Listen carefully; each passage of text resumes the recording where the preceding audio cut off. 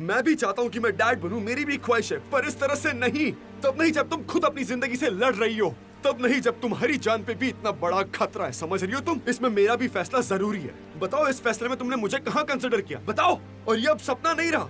ये एक बुरा सपना बन गया है। ये मेरे लिए एक बुरा सपना बन गया है, रेहान।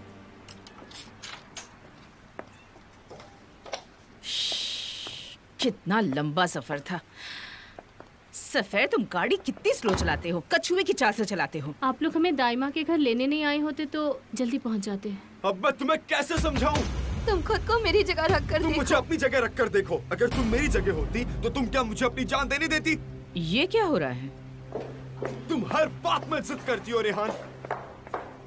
ठीक है फिर तुम मेरी बात समझने की कोशिश क्यों नहीं कर रहे? क्यों?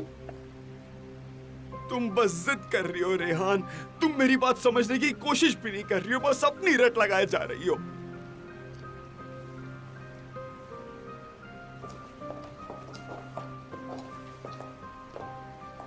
बेटा ये क्या हो रहा है? तुम लोग लड़ क्यों रहे हो इस तरह से?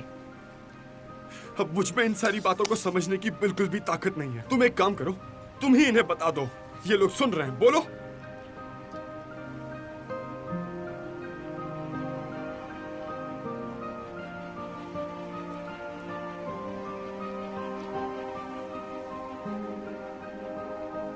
मेरी प्रेगनेंसी नॉर्मल नहीं है जैसा कि हम सबने सोचा था। मैं कुछ समझी नहीं।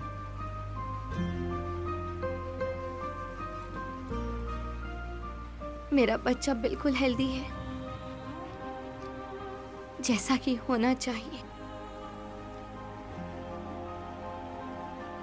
मेरी सिचुएशन ऐसी नहीं है। अगर मैंने उसे जन्म दिया।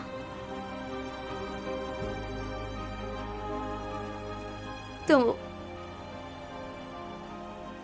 मेरी ज़िंदगी खतरे में पड़ जाएगी।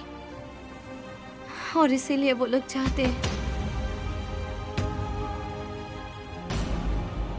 कि मैं अपने बच्चे को अबॉर्ड करने का फैसला लूँ।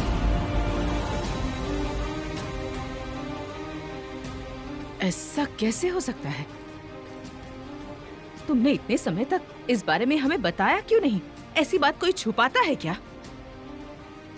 आह, आह, मेरा ग्रैंड चाइल्ड अब क्या होगा रेहान? अगर मैंने इस बच्चे को गिरा दिया तो मैं दोबारा कभी माँ नहीं बन पाऊँगी।